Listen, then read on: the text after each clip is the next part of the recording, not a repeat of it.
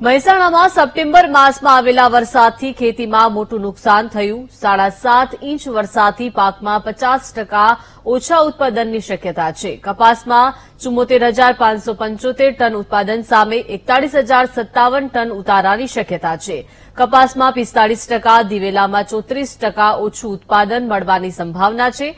દિવેલામાં બે આઠ લાખ ટન સામે એક સાડત્રીસ લાખ ટન ઉત્પાદનનો અંદાજ છે. સપ્ટેમ્બર માસના અંતિમ બે દિવસમાં આવેલા વરસાદથી પાકની સ્થિતિ બગડી ગઈ છે.